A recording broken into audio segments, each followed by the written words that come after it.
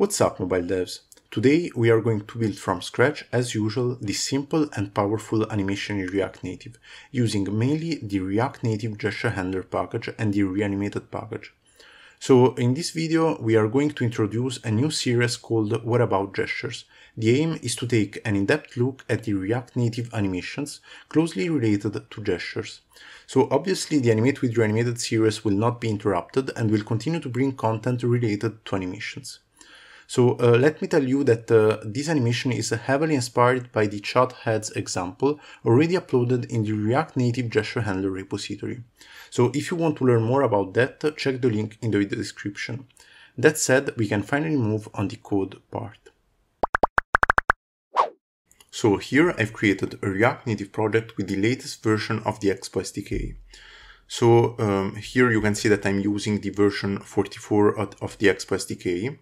Uh, of course, uh, I've just uh, installed, up upgraded the Expo SDK on my computer and I've initialized the project from scratch with the TypeScript configuration. I've also installed the React Native Gesture Handler package. We will need a version above the 2.0. And of course, we are going to use the reanimated package with a version above the 2.0 version. So uh, in order to complete the reanimated uh, installation, uh, don't forget to add the reanimated plugin in the Babel config.js. So that said, we can start to display our circle on the middle of the screen. So let's say here styles.circle and let's specify here the circle style. So we are going to use an height equal to 80, a width equal to 80, so we can also say aspect ratio equal to 1, and background color equal to, uh, let's say, blue. So uh, since we want a circle, let's specify here the border radius equal to 40. And for design purposes, let's update the opacity equal to 0.8. So um, at this point, we can already start to see how the new version of uh, gesture handler works. So normally, um, if we want to uh, translate this circle on the screen, we use uh, the pan gesture handler component uh, from React Native gesture handler. But uh, with the um, version, uh, with the version 2.0, with the, so of course also with the, version above the 2.0 version, we can use just a gesture detector. So uh, the difference is that uh, uh, instead of using a pan gesture handler, a pin gesture handler, and so on and so forth, we can just use and define every gesture with the, the gesture detector component. So uh, of course we are going to animate this view. Let's specify therefore an animated view. Uh, we are going to use animated from reanimated. And in order to translate this circle, we need to specify here the gesture property. So in order to specify the gesture property, we need to define the gesture right here. So the default approach before the version 2.0 of React Native Gesture Handler was to use the hook use animated uh, use animated gesture handler from React Native Reanimated. So this one. And here uh, we can define the different callbacks uh, that we want to handle. So instead of, instead of this approach, we can use now the gesture component from the React Native gesture handler. We can specify that we want a pan gesture and we can specify here all the different callbacks. So, uh, for instance, uh, if we want to handle the uh, translation, the default translation, the uh, onActive callback, we can use the onUpdate method. So here let's uh, access the event and let's print the event translation X. So uh, of course we need to assign this property to the gesture detector and let's reload. So here you can see uh, what is happening. You can see the uh, values, the translation X values. So uh, in order to update uh, this, this circle, we need to save this translation x value and we need to pass the translation x with a reanimated style to this animated view. So basically there are, uh, so let's say minus different uh, uh, minus difference between uh, the two versions of uh, React Native gesture handler. But what you need to keep in mind is that uh, right now we are handling the onUpdate callback with the gesture handler and not with an hook provided by Reanimated. So this is a huge difference between the previous approach, but from the syntax we can see that almost nothing is changing. So here let's uh, specify that we want to, to access the uh, shared value, the translate x shared value, and we are going to save uh, the translation x inside this shared value. And let's pass, uh, so let's pass this uh, translate x value inside an animated, uh, a reanimated style. So here let's return transform and let's say translate x translate x dot value. So uh, if you are not familiar with this kind of syntax, uh, uh so use shared value and uh, use animated style, you can check out uh, my um, playlist related to animated, to reanimated. I will put the link in the video description, of course. So here, let's assign this reanimated style to this animated view. And let's see what is happening. So we can see that everything is working nicely, but if I start again this animation, you can see this glitch. So basically the previous value of the translatex uh, uh, shared value isn't stored anywhere and therefore the animation isn't keeping the previous state but it always restarts from the beginning. So we are going to fix this uh, issue in a second but for now let's uh, also handle the translate y. So let's uh, create here the translate y shared value and let's save the event.translation y right here. Let's add inside this reanimated style also the translate y value. So let's reload. We can see that we are handling the translate y uh, axis, uh, so the vertical axis. And if we restart, we have the same problem that we had before. And in order to fix it, uh, usually we need to store the, the current state uh, in um, inside a context object. In the previous version of uh, a gesture handler, uh, we uh, deal this kind of uh, issue with the, uh, the context object provided by each different callback. So here normally uh, we would have access to this context object. But in the latest version, we need to handle ourselves this context object as a shared value. So let's define here our context object. And let's define here the initial state. So uh, inside our context, we are going to save two different values, an x value and a y value. And we are going to save the previous position on the start callback. So here, that's the syntax. We are going to handle here the context.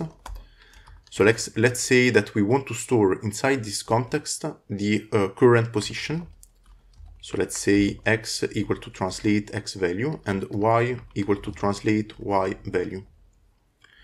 And let's keep here, let's access here the context dot value dot x and this context dot value dot y. So let's reload. And you can see that everything is working perfectly. So um, we are able to scroll everywhere this kind of circle, but it isn't the animation that we want. So uh, we don't want that uh, this circle follows perfectly our, uh, our finger, but we want that it follows with a spring animation. And in order to do it, let's define here the so let's uh, derive the follow x position. So this follow x position will be our circle x position. We are going to derive the circle x position from the translate x value. And we are going to derive the follow y position from this translate y value. So let's specify here follow x and follow y. So of course, uh, uh, here nothing is changing. We are just uh, refactoring a little bit this code. So you can see that we are using, of course, use derived value from reanimated. But since we want to follow it with a spring animation, let's specify here the with spring high order function from uh, reanimated. So with spring, and let's see what's going on. So you can see this beautiful effect right here. So um, at this point, uh, what we are going to do? We are going to create the red circle and the red circle will not follow this translate x value, but it will follow this follow x value and the follow y value. So basically the red circle will follow this uh, blue circle. So we are going to replicate over and over this logic right here. But uh, in order to avoid uh, a lot of replication, let's just create a custom hook. Basically, we are going to create uh, an, a custom hook use uh, called use follow animated position. So here we are going to access uh, the uh, position that we want to follow. So let's say animated position. Of course, we need to create this animated position type. So let's say um, this animated position will have an X and a Y shared value. So we are going to follow, for instance, the translate X value and the translate Y value. So let's say animated shared value and Y will be an animated shared value of type number. And here we can access the X and the Y. So we are just going to copy all this logic and let's paste right here. So instead of uh, translate x value, we are going to follow the x and the y value. So let's, uh, so from this hook, we are going to return the follow x, the follow y, and the reanimated style. So let's uh, uh remove this logic and let's just say uh, use follow animated position. x will be equal to translate x and y will be equal to translate y. And we are going to access follow x, follow y, and reanimated style.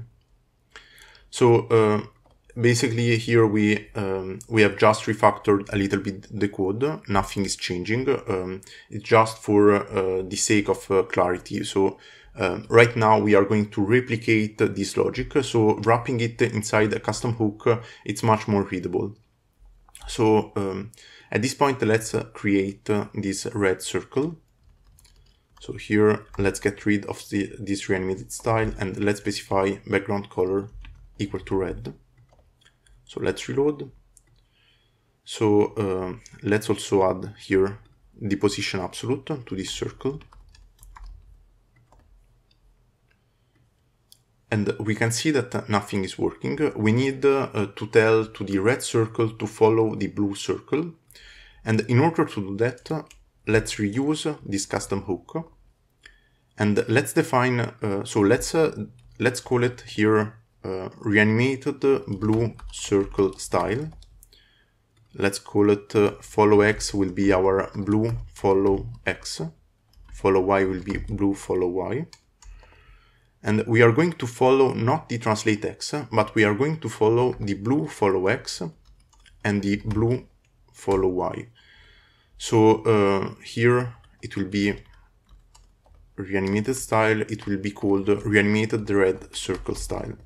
So I hope that it is clear. Basically, we are just following from this blue, uh, so we are just telling to the red circle to follow the blue, uh, the blue circle. And uh, we are just uh, updating here the, the name for uh, the clarity. So let's call it reanimated blue circle style here. And here, let's say reanimated red circle style. So I know that uh, this explanation is a little bit messy, but uh, it is a little bit hard to uh, explain it in a, simple way. But uh, the concept is really simple. We are just telling to each circle to follow the previous circle. So you can see here that everything is working uh, perfectly. So um, the last uh, circle that we want to animate uh, is the green circle. And at this point, it should be almost uh, uh, easy to understand how to do it. We are just going to replicate this custom hook. This one will be called, uh, let's say, red follow x, red follow y.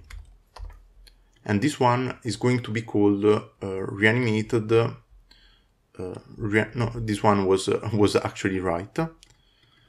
So here we are going to follow from the green uh, circle we are going to follow the red circle. So red follow x and red follow y. We are not going to use follow x and follow y. And we are going to rename this style in reanimated green circle style. So let's pass it right here. So let's reload. And we can see that everything is working perfectly. So the last thing that we want to check is the current position of this uh, blue circle. So um, let's say that uh, we release the finger in this position. So let's say that's, that uh, this blue circle is on the left side of the, of the screen we need to animate back the circle with the translate x value equal to 0. Otherwise, if this uh, blue circle lies on the right side of the screen, we need to animate back this circle to, uh, with the translate x equal to screen width. So we can handle this onRelease gesture with the onEnd callback uh, provided by the gesture.pan. And here we can see, uh, we can uh, check the current translate x value and if this translate x value is greater than screen width, we can update this translate x value equal to uh, screen width. So actually, let me fix it. If translate x value is greater than uh, screen width divided by 2, so if this circle lies on the right side of the screen, we need to update this translate x value equal to screen width. Otherwise, uh, let's say translate x value equal to 0. So uh, of course we need to uh, define this uh, screen width and as always we can use this dimension dimensions API from React Native. So let's say here width screen width and let's see so uh, nothing is working, of course, uh, and that's because the initial position is, is the uh, center of the screen. So we need to remove from the container style the align items and justify content property. And let's see. So here we need to fix also this behavior. Basically, we don't want to translate until screen width, uh, screen width, but we want to translate x value. Uh, we want that uh, the translate x value needs to be equal to screen width minus 80. 80 is just the size of the uh, circle. So let's see what's going on. And we can see that everything is working uh, smoothly. So uh, let me refactor a little bit this 80. Let's define here the size equal to 80. Size here. And let's say size and size divided by 2.